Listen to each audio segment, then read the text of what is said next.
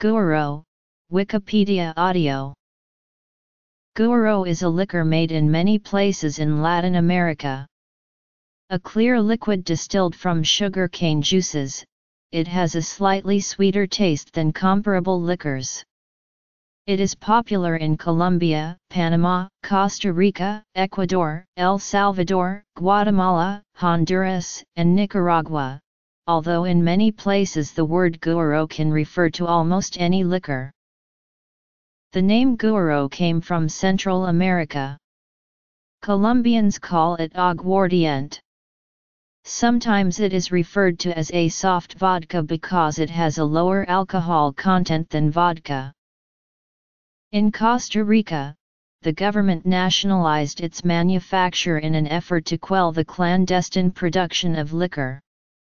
The Fábrica Nacional de Licores was founded for this reason, and currently produces the only legal brand, Cacique Guaro. Clandestine liquor production is still prevalent, but it is seen more as a tradition than a business as it would be difficult to compete with the nationally produced guaro. The illegal version of the product is often called guaro de contrabando and is produced by various methods, all through distillation, but with different base ingredients, typically fruits or sweets from other sources, molasses from sugarcane, or simply sugar. Clandestine production in 2004, the Costa Rican company S. Guaro LLC began exporting Guaro to California in the United States. In 2005, Tranquilo Imports began marketing Guaro Tranquilo in Texas in the United States.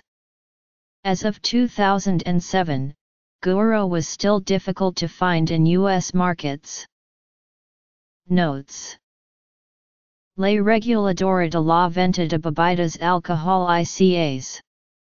Expediente en degree 15.477. Archived from the original on March 9, 2008. English translation Costa Rican law regulating sale of alcohol.